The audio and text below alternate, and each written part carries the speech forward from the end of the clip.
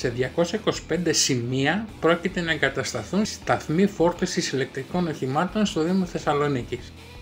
Αντιστοιχούν σε 444 θέσεις φόρτισης και οι εργασίες εγκατάστασής τους αναμένεται να έχουν ολοκληρωθεί μέσα στα επόμενα τρία χρόνια, μέχρι το 2025 δηλαδή.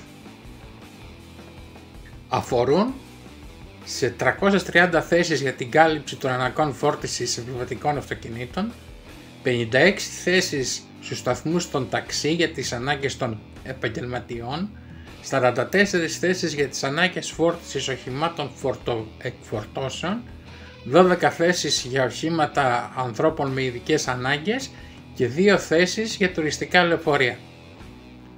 Αντικείμενο αυτού του σχεδίου είναι η χωροθέτηση σταθμών φόρτισης και η οργάνωση αντίστοιχων υποδομών ηλεκτροκίνησης με στόχο την αύξηση της ζήτησης για ηλεκτρικά οχήματα και τη μέρημνα για τις απαιτήσεις των ήδη υφιστάμενων.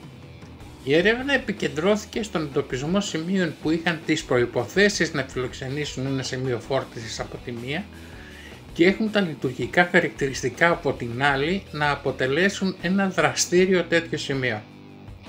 Σπουδαίο ρόλο έπαιξε και η ύπαρξη δημόσιων χώρων κοντά στα σημεία που υποδείχτηκαν ικανόν να φιλοξενήσουν τους αντίστοιχους χώρους. Ένα φιλόδοξο σίγουρα πρόγραμμα το οποίο ελπίζουμε να μην έχει την τύχη του μετρό της συμπρωτεύουσας.